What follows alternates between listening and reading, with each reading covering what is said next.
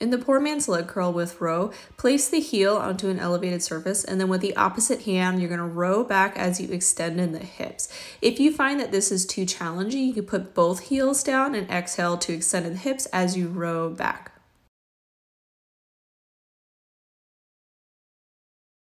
The next variation will be a glute bridge with a heel focus. So you'll be up on the heels, exhale to extend in the hips as you row back.